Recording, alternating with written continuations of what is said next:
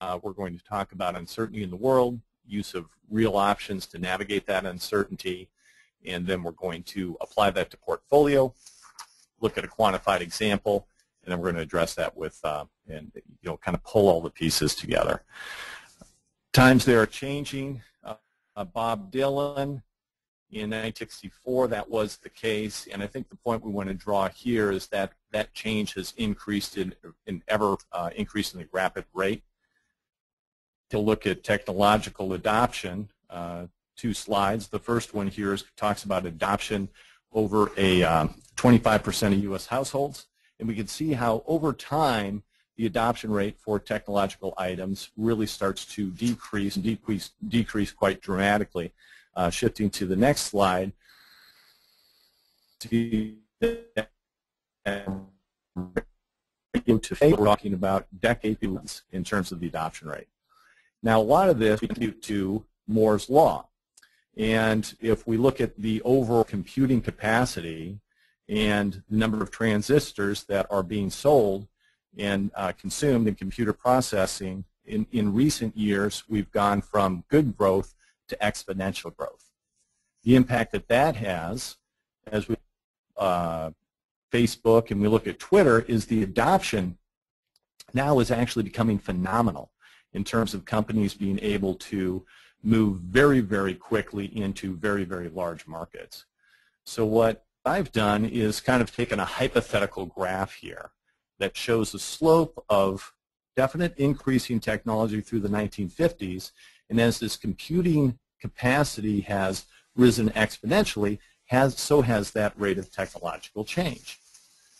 So what we have is there are fewer constants and there are more variables, so we have more choices. Um, that's good from a consumer perspective, the difficult we have is that our ability to predict in that horizon for being able to see where we can get a return is starting to shrink.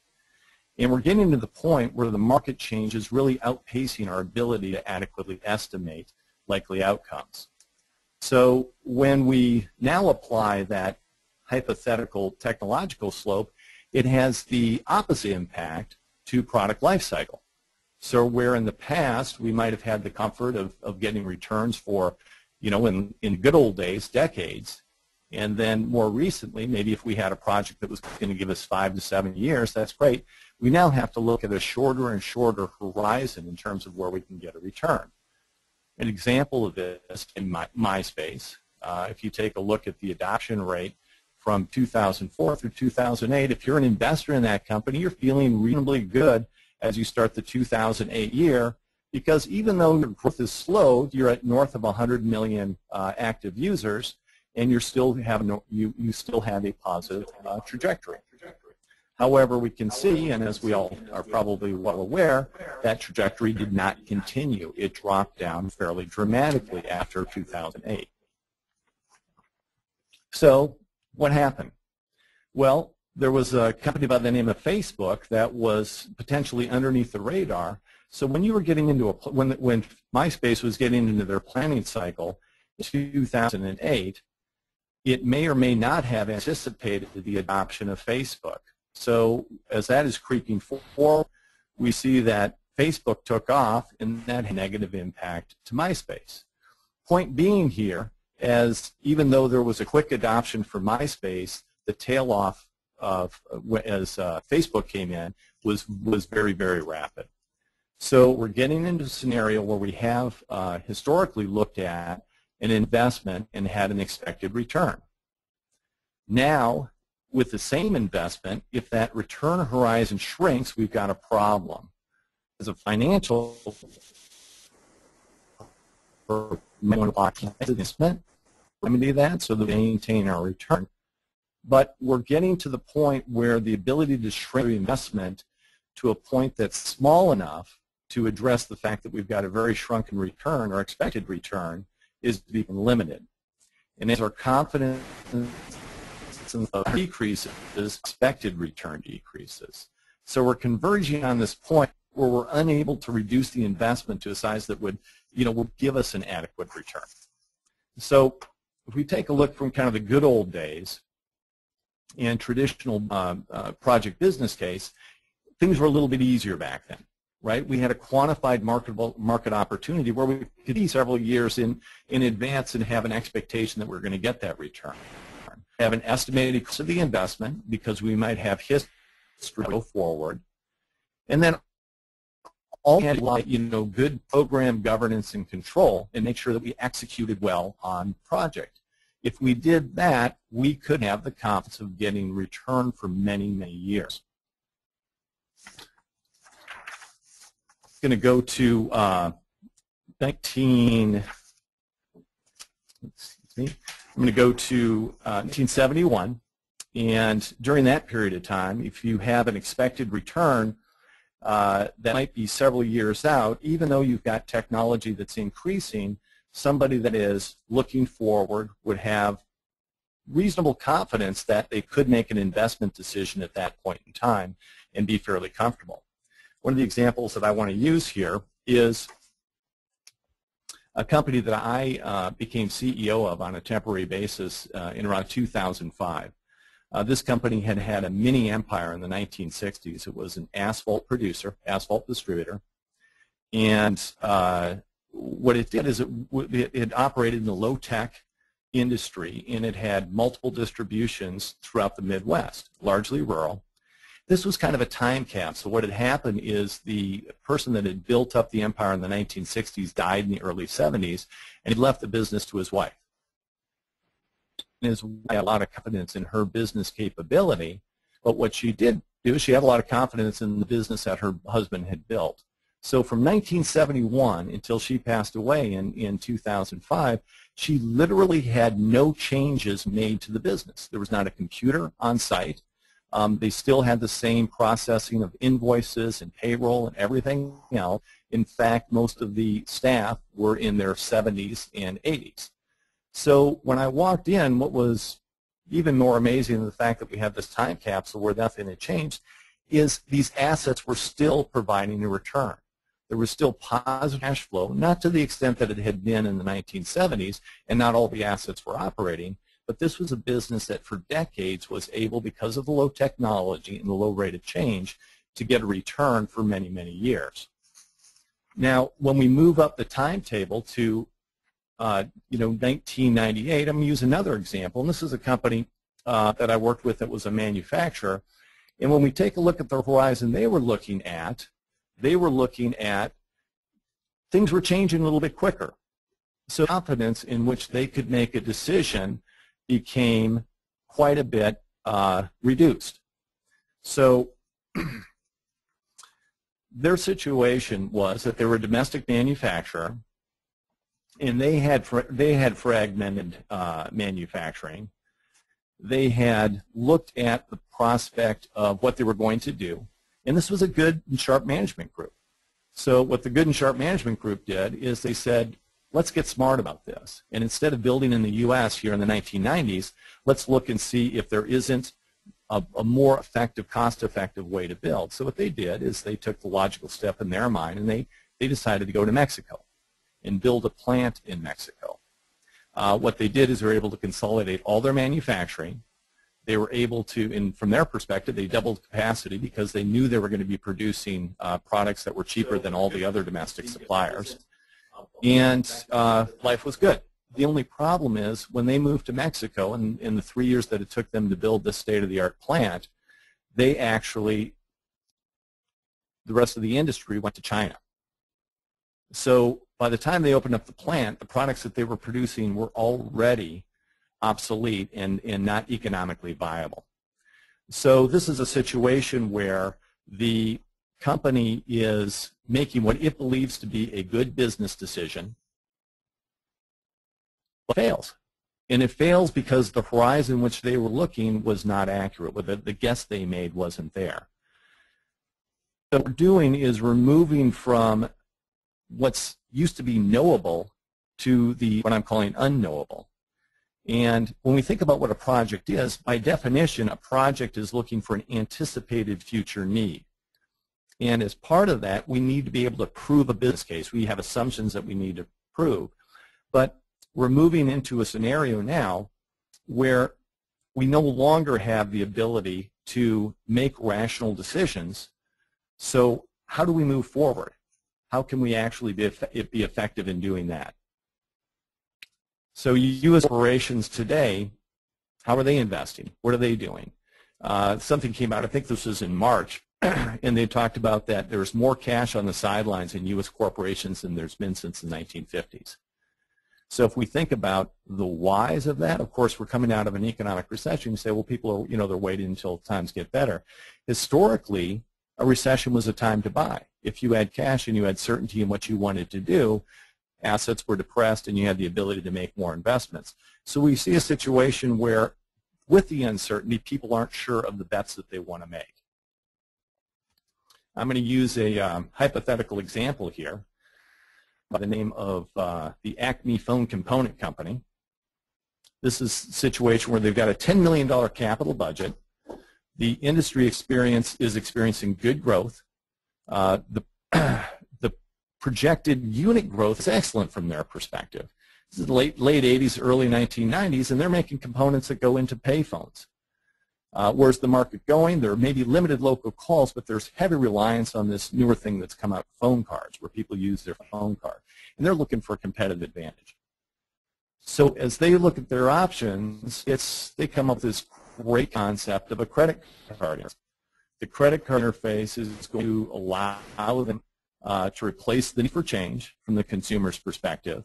It's going to replace the phone card and the only problem is it's going to take them three years to get this done based on how they put their business plan together and what they do. But from their perspective, they feel that the likelihood of success is really kind of a can't-miss scenario. So they move forward. Well, no real surprise here. When we take a look at what actually happened in their industry, instead that trajectory of growth that they were anticipating in the surefire winter, payphone numbers actually dropped during that period of time. So their reliance and uh, dependency on the traditional methods failed them. So let's take a look at what did and um, what the problems were. First of all, was the scope accurate? Sure, it was accurate. It was it was what they wanted to do. Was the budget budget accurate? We're going to go ahead and give them the benefit of the doubt and say that they were able to put put the pieces together uh, effectively. Um, did the market demand meet expectations at the time of the delivery? And the answer here is no. So why did they fail? Why didn't things work out? And what failed Acme in this case is the system. They did what they thought they did. They, they did what they were taught to do. They, what all of their business experience told them to do. But the system that they had, relying on assumptions that couldn't be known at the time they put it together, led them to failure. So that leads us to what do we do in this situation? Before we're going to talk a little bit about something called real options. Now, options overall, I'm, I'm sure we've all heard of financial options, puts and calls and those kinds of things, and I'm fortunately for everybody, I'm going to spare you with, uh, with going into any detail on that. Real options are a little bit different uh, definition, it's an option that a business gains by taking, a, taking on a certain investment. And in other words, it's an exploratory or limited investment a company may to confirm the upside of a further investment. So what we're talking about, it's really an investment in knowledge, where a company invests just enough to consumption, and when a variable becomes a constant, the overall project certainty is reduced. What this does is it minimizes the sunk cost and it can maximize uh, these successful outcomes. I'm going to go on to another hypo, uh, hypothetical example here. Oh, excuse me. Actually, I'm going to talk just a little bit about the decision tree. So when we walk through this, assumption number one, and if the assumption number one, there's an investment made to confirm that that assumption is, is either accurate or not accurate. If it's not accurate, you have the ability to stop the project. If it is accurate, then you can go on to assumption number two and confirm that, and so on and so forth. And the idea is that you're gaining knowledge through this whole process, and as you gain knowledge, you gain confidence in your business case, and that you have the ability or you have the appropriate information to go forward. So I'm going to use a hypothetical example of regressive uh, life insurance. Uh, this is a situation where uh, this is a company that has been selling life insurance for a number of years and working exclusively through a broker network.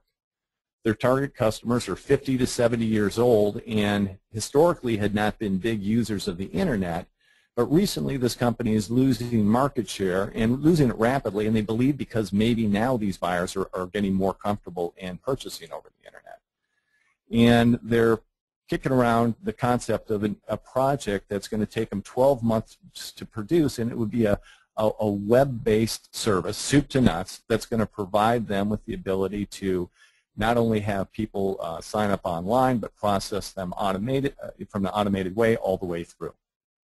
Now, they're very knowledgeable, and they actually acknowledge that they've got some risks here. One of the risks is that they have no te technological expertise internally.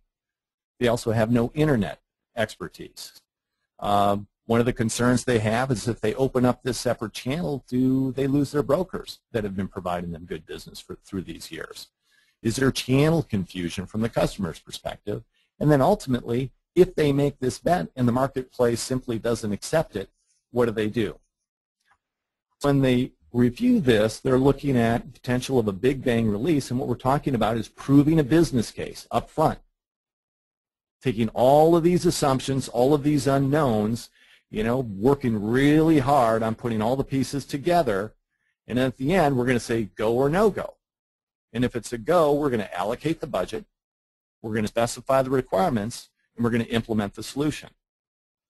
What the real options approach might look like here is an incremental investment in this, an investment in knowledge bites so that they can find their way through the process. And then based on these findings, they can validate a further investment. And then they would continue this process as long as there was sufficient uh, business value.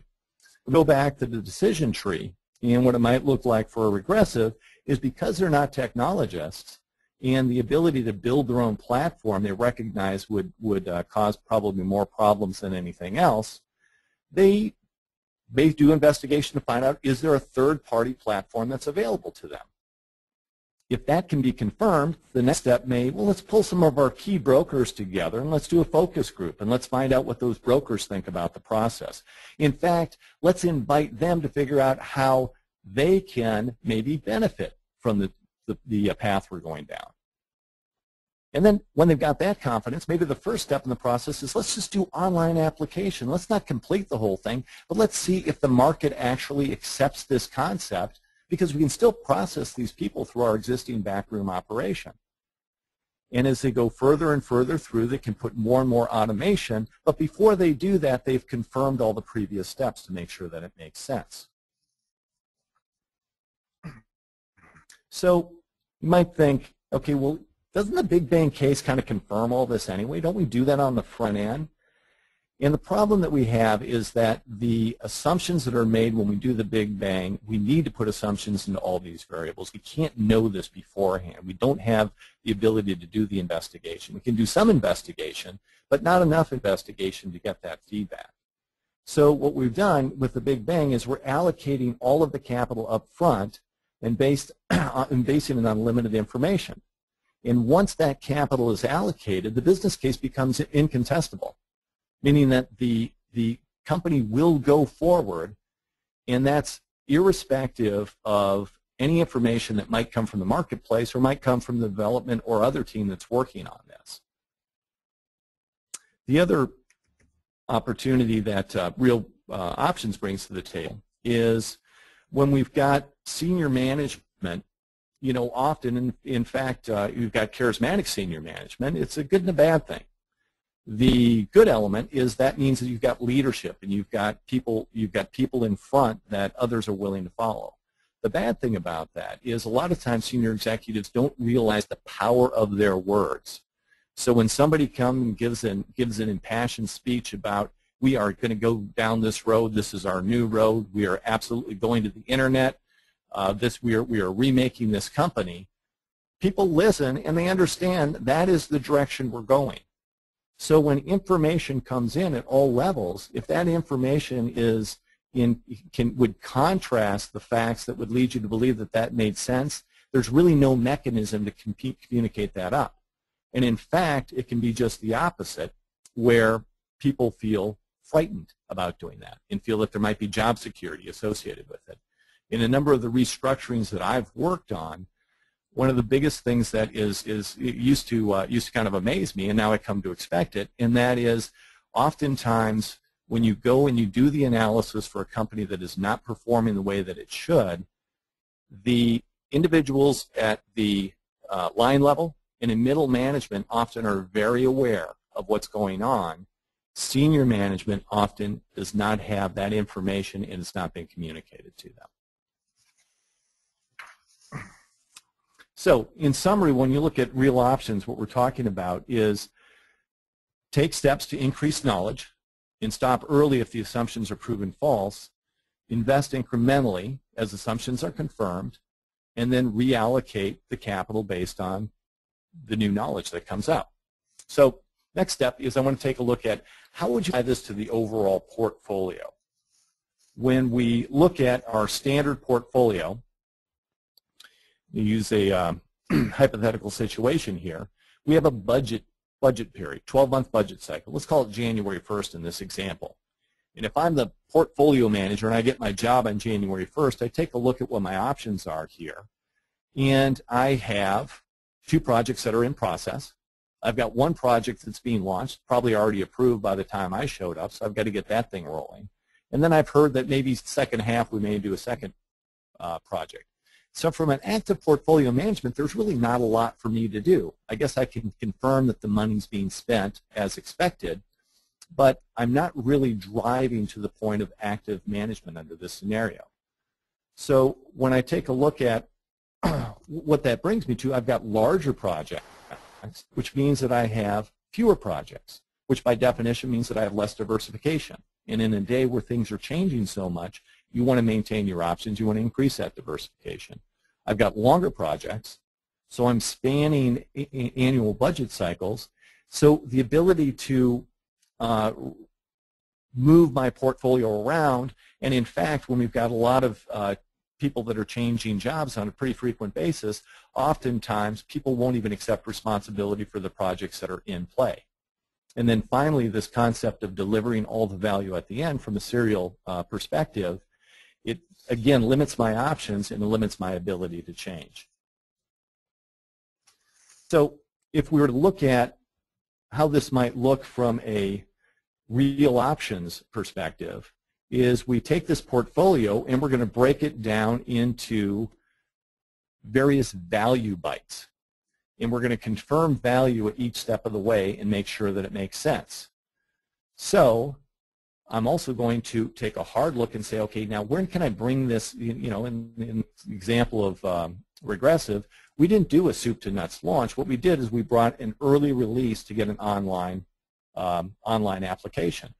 So what might I do under this is I'm going to push everything to market with the minimum amount I can because one is I can get a return from that. Number two is I don't necessarily need to make the investment in the overall project.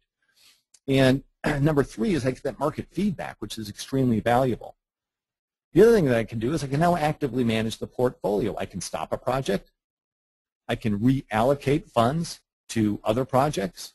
If something comes up midstream that makes a lot of sense, I can go ahead and go forward on that, and I can shuffle. I don't have to wait till the next budget cycle.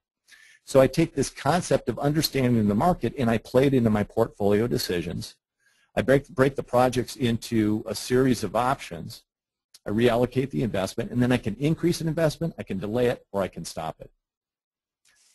So historically, we've seen these big bang releases that have dominated the airways, and it made sense because we had rational business cases that we could put forward.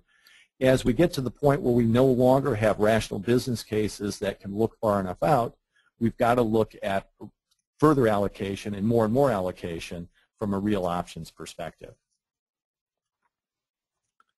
So what we're talking about is giving our, ourselves the ability to increase diversification, ability to monitor and manage and perform within the budget cycle, ability to redirect funds from losers to winners, and then optimize the portfolio within the budget cycle. So the analogy here is if you are at the track and you're making a bet, You may, you know, in the, under the old scenario, maybe you bet on one or two horses, and then you sit down and you wait for the race to be over to see if you've won or not. Under a real options portfolio approach, you could make multiple bets, smaller bets, across a number of horses, and as that race develops, you can start removing a portion of the bets on those in the back of the pack and put them on those in the front of the pack. So what you're doing is you're increasing your chance for success through the process and not waiting until the end of the race to figure that out. Now I'm going to move to an example of being able to uh, quantify how this might work or what it might look like.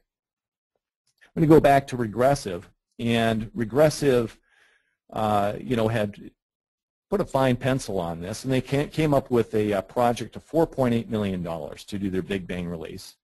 They anticipate it's going to be $400,000 over a 12-month period of time. And they're going to get all the value uh, at the end of the end. They're going to have a big bang release at the end of 12 months. Expected monthly income, 200,000. Ongoing operating support, 50,000. So in summary, what they is $4.8 million and then $150,000 per month thereafter. Now, when they put their business plan together, they try to figure out what's their expected return going to be and they, they're looking at a five-year horizon. They feel that that's that's uh, reasonably adequate. That they should have, that they should be able to. And when you when you do the math, you come up with 18.5 percent in trade return. Now, in Regressive's case, they have an IRR threshold of 15 percent. So this is a thumbs up. It makes them to go forward, and they pull the trigger and they move forward. And then if we look at that on a monthly basis, that means for the first 12 months, they're spending 400,000 and then until the end of the five-year horizon in which they're doing their analysis, they're expecting $150,000 per month. Further look at this is we have um, an investment that peaks after 12 months, and then over time there's a payback that continues until they hit a break even. But look at this. The break even doesn't happen until month number 43. Okay, let's think about that for a second. In this world, in a project that actually at 18.5% is not a bad return, we're looking at not even getting to the point where we get our first dollar of value in above our investment until, you know, in the, in the near four-year time frame. And then as a result of that, the return that we need to get is at the tail end of that process. So how this looks kind of on the books from uh, Regressive's perspective, it's a capital project. It's $4.8 million. They've got cash allocation of 4.8, meaning they have to make that full investment. And they've got a write-off risk of $4.8 million as well. And what I mean by a write-off risk is when you've got the decision on the business case, you pull the trigger and you move forward on the investment, it's very difficult to stop that. And unless there's an early trip and somebody who is senior enough in the organization can recognize it, what everybody's been instructed to do is spend that money. So not until you get toward the tail end of the project where potentially things have gone sideways do you recognize that, wow, we might have a problem here. And one could argue that that $4.8 million is, is actually higher because when the executives are now looking at a project in trouble where you've got nearly uh, your full, full 4.8 spent. What are their decisions? Do they write off at that point, or do they put another million into it? And we've all seen before where projects continue to get funded and continue to fail going forward. So if we look at this now from a real options perspective, how it might look, we would take the same project, we're going to break it into a series of smaller go, no-go decisions, kind of mini business cases here. And as we go forward, we're going to use the team's input and the market input to uh, help us determine what we want to do. We're going to determine the quickest path to market and continue with the go, no-go process as we get information from the market. So after setting, after getting to market with the initial minimum feature set, we're now going to prioritize the remaining features for the highest business value. So if you look at it means our release number one, because we want to get value and we want to actually start this, we anticipate that we're going to get a big chunk of the value.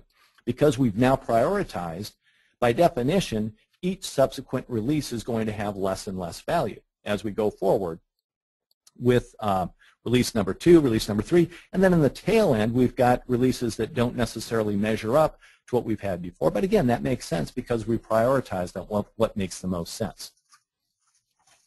So we're going to take the same arrangement as we did before under waterfall, but looks a little bit different with, with real options. Under this scenario, it took us three months to get to a something deliverable to the market. So those first three months look exactly the same as, as under waterfall.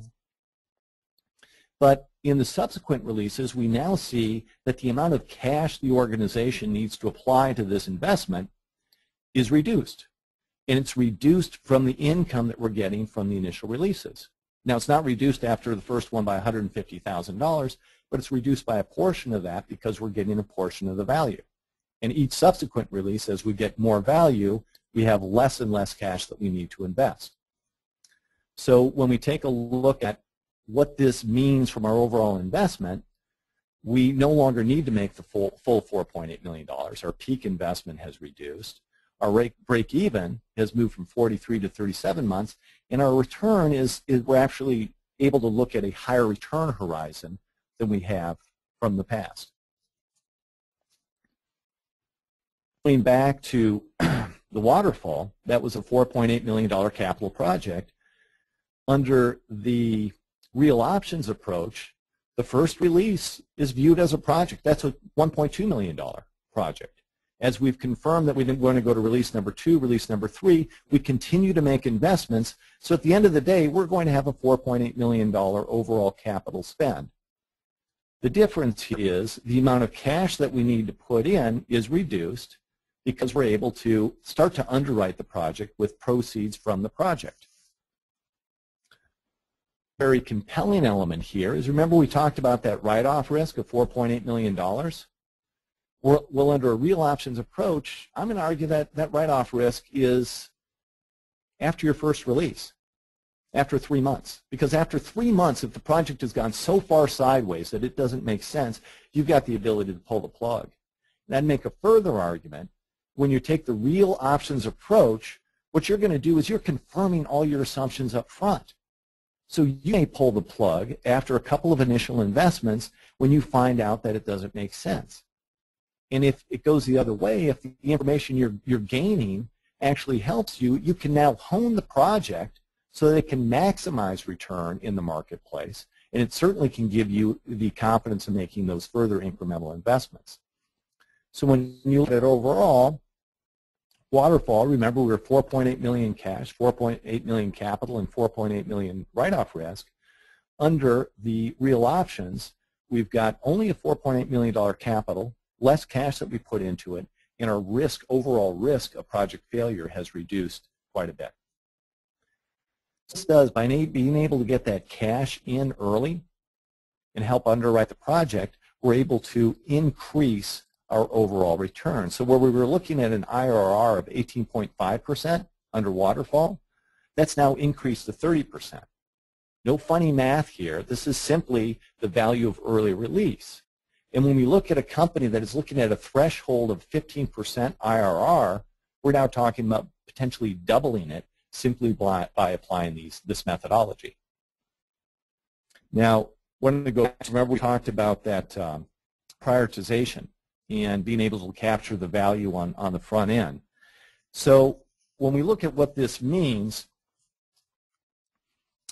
from an overall basis, the waterfall product was at 18.5%. My first release, it's higher than 18.5%, but it's, it's lower than subsequent releases. And the reason being here is it took me three months to get to my first release. But what really is pretty amazing is when you look at that release 2 and release 3 and release 4, you have phenomenal returns. You're talking north of 200% for release number 2. How does this happen?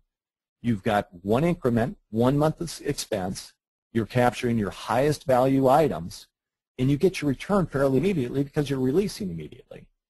Now, the counter of that is as time goes by, when you start to get the releases that have less and less value, we get into a situation where we actually no longer are even above our hurdle rate of 15%. if we're good managers and we're going to adhere to our corporate policy, we're going to remove those last four releases from the overall program. Why are we doing this? Because it doesn't make sense anymore. We no longer have a valid business case for release number seven. And in fact, when we get to the later releases, we actually have a negative return on those.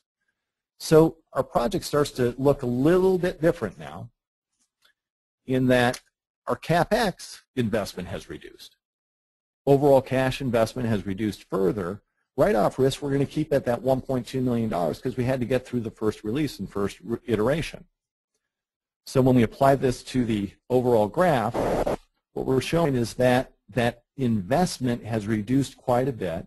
Our break even is now around month 30, 31, and our return horizon has really expanded. So where before we were looking at a small return over a much larger investment, we're now looking at a much smaller investment and a much larger return, which from a financial guy's perspective can give you some very impressive things. And let's go to the next slide here. Waterfall, 18%.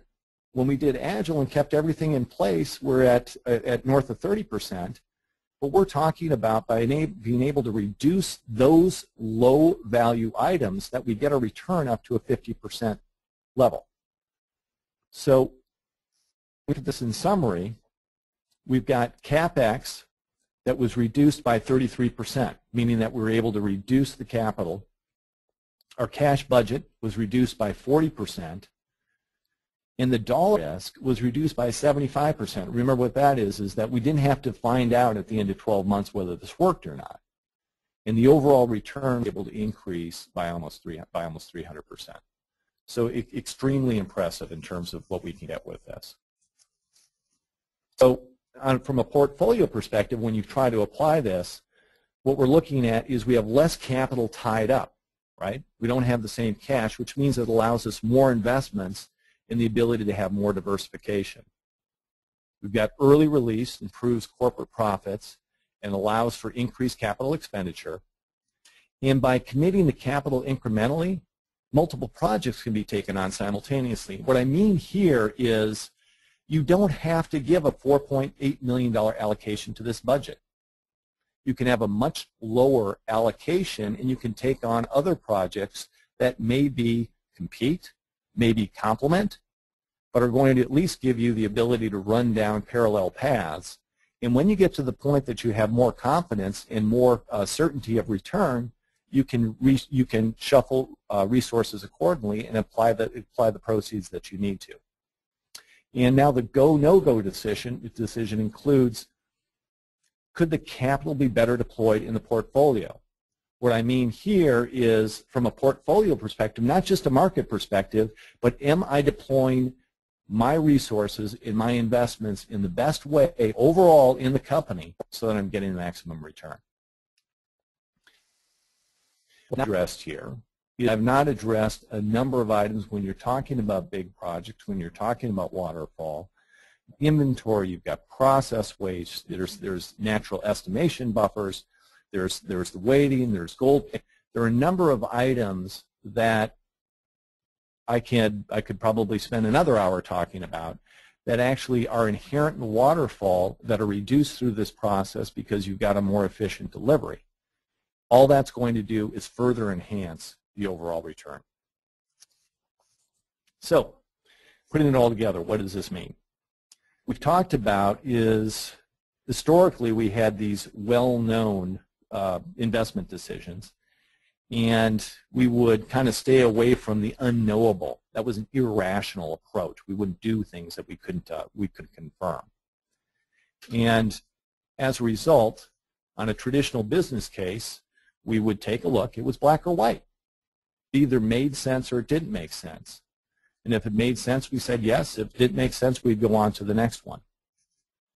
So a traditional approach, we have the executives that are making a decision, and they say the business case is, is a go forward. They then allocate capital to the PMO. The PMO enforces their, its charter.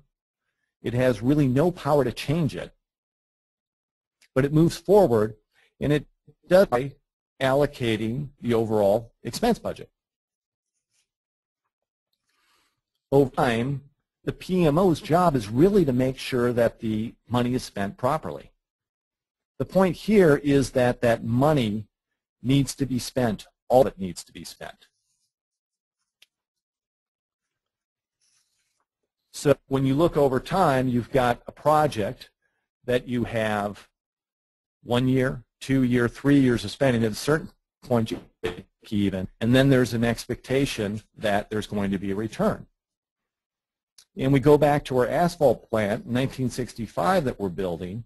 We have a high degree of uncertainty that that's going to make a lot of sense. That actually is a go forward. This is a low risk profile. It's a very good idea. We get our arms around the scope. We know the time and the budget, so we move forward on something like that. However, go back to the example of the manufacturer that moved to Mexico. They had two problems. Uh, they also had a failed ERP implementation that happened simultaneously uh, when they went down to Mexico. So they, they were struggling when I got there. And it was a good idea. They had multiple warehouses, and I mentioned multiple manufacturing, and they had were using antiquated system. So the concept of doing a state-of-the-art ERP system was very good, but it was new to them. And they really didn't have a a full flavor of what the scope was. So even though it was a good idea, this was because it was jeopardized, so was the time and so was the budget. So one of the things in the last years, this has been something that Agile has been very, very helpful for. We go through the same sequence where we've got a business case that the executives are going to go ahead and approve going to go to the PMO. PMO is going to allocate the capital. PMO is going to enforce the charter. There's going to be nowhere to change it. So the project expense budget is approved. And up to this point, you really have any change from the traditional method. Now, of course, with Agile, once that expense allocation goes forward, we get into level of sprints. We have multiple releases. We've got this concept of a, of a product owner that's in place. But what's wrong with this picture? And the problem is, is that we still don't have the communication loop back. We don't have the feed of when that release comes into place, what's happening with the market? How's it being impacted by the market? We don't have the feedback for what's going on real time with the team and how that's being impacted. So we've limited our channel based on using the traditional methods in terms of giving feedback at the executives at the executive level. So what we're going to do is, irrespective of how it's going in, in, in is we're going to continue those releases, and we're going to spend all of the budget. So what this has done, it's done some good things. Its, its uh, scope is reduced. The schedule risk has been reduced. And the expense budget has been reduced. So that's helpful in this scenario, but what it doesn't resolve is it doesn't resolve what about if the biz, business cut is uncertain? What about if the fundamental idea that we have, we just don't have enough knowledge about to have the certainty that it's going to be successful? So even if we're using at program level or at the project level, if we're not releasing it early, we're not taking advantage of those, those uh, uh hefty returns we can get, and the business concept is remaining untested. And even if the software is being released, if we don't have a feedback mechanism for taking that information from the early releases in one, impacting how the project's being run, and number two, impacting whether we even want to go forward with the project, we are getting ourselves into a scenario where we're not taking advantage and, and and we have no way to stop a bad investment. So if we move on to a project in uh, 2012, you know, go forward, the big issue here may be, is it even a good idea? Do we have enough information to determine whether this makes sense or not? Because we have this inescapable uncertainty that we can't get our arms around. Again, we've got one-way communication, so we can't address that through the traditional methods. But if we up the communication between the executive, the PMO, and the project and get that market feedback from a product owner perspective, what we can do is real time take the information and influence what we're doing. So where from a basis, we've got an executive uh, you know, decision. It's black or white decision to allocate the capital.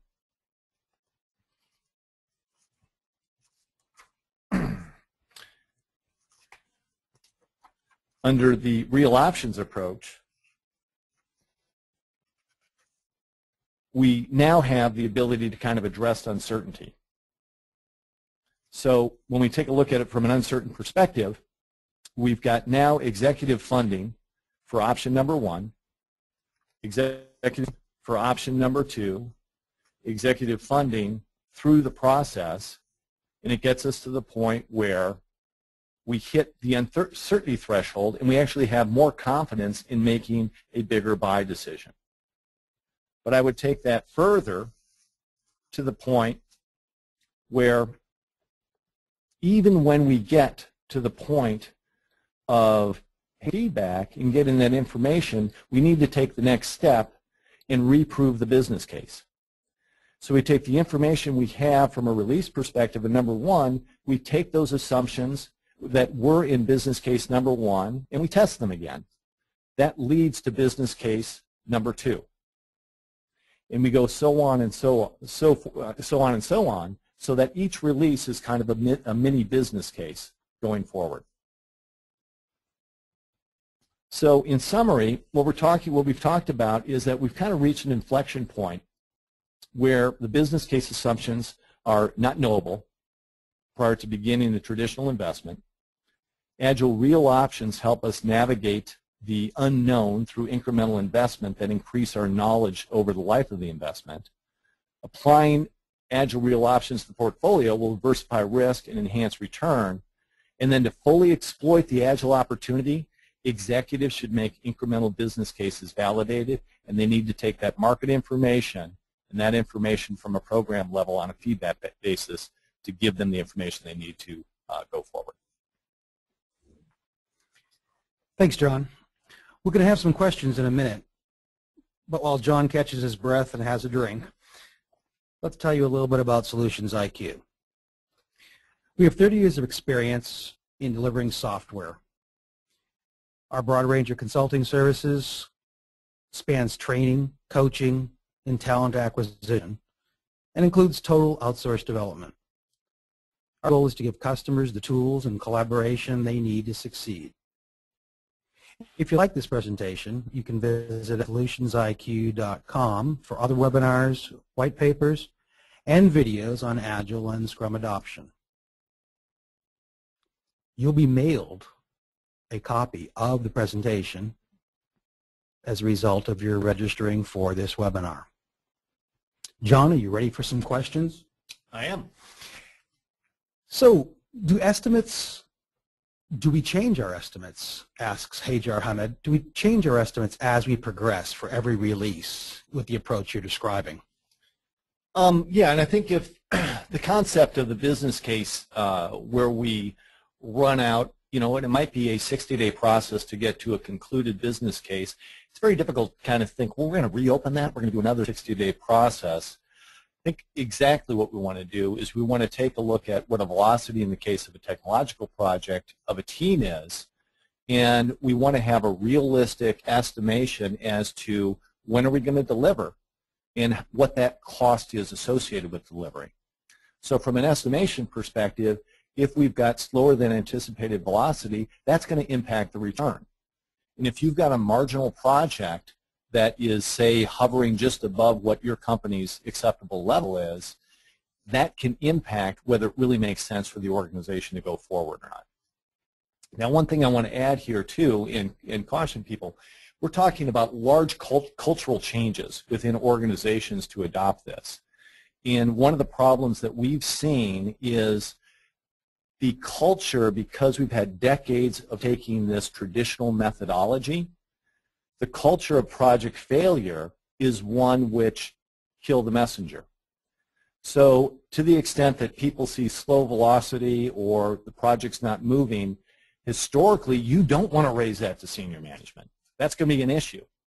And not until organizations change the overall cultural shift so that they embrace providing that knowledge, are you going to see a scenario where people are, messes, or maybe being entirely honest as to what, what it takes to get to the end game? Dave Miranda asks, how about infrastructure projects in IT departments? Can Agile help here?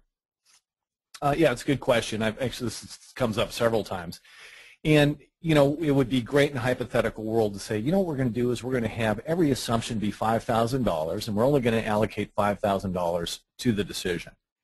But if you are talking about infrastructure, there are going to be some big capital decisions that you need to make. There may be some big expense uh, items, uh, big equipment ticket items that need to be made. The point being is we take the value we can, and before we pull the trigger on the big ticket items, what we do is we garner information through the options approach to make sure we've got confidence in pulling the trigger on those big ticket items. This came up actually uh, last week in a conversation that I had with somebody, and they had talked about, well, you know, I've got a big equipment purchase, and there's a discount associated with it.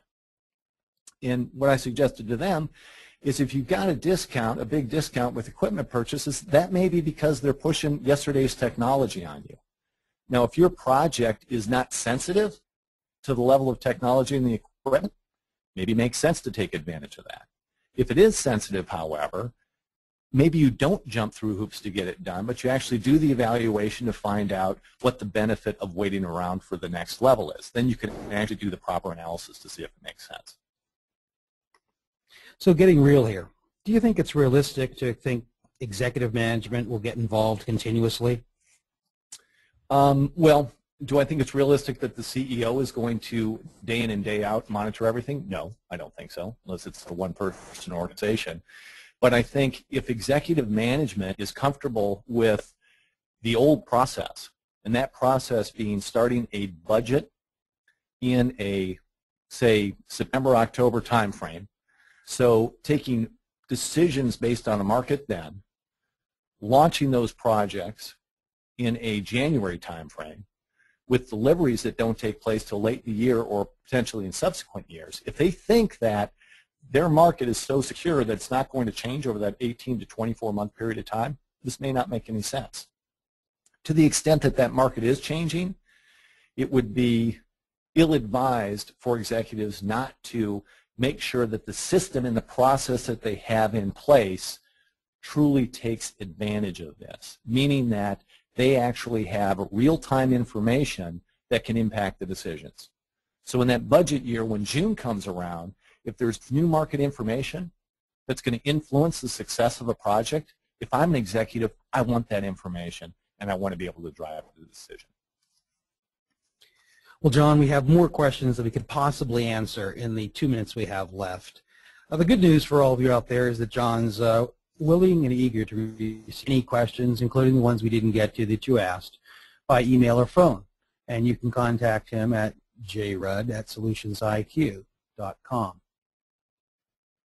We're really appreciative that you attended today's webinar. We're sorry for our initial uh, errors, but we'll do better next time. You'll get an email with links to the recorded version of this webinar and copies of today's slides to share with your colleagues. Thanks to VersionOne for hosting this webinar, and we invite you to take a look at all of the resources and features on their site. Thanks very much and enjoy the rest of your day.